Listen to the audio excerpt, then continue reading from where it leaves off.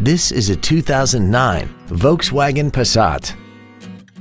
This car has a six-speed automatic transmission and an inline four-cylinder engine.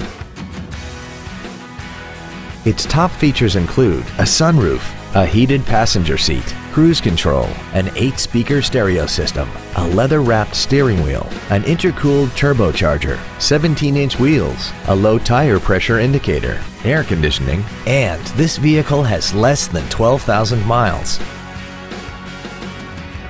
With an EPA estimated rating of 29 miles per gallon on the highway, fuel efficiency is still high on the list of priorities.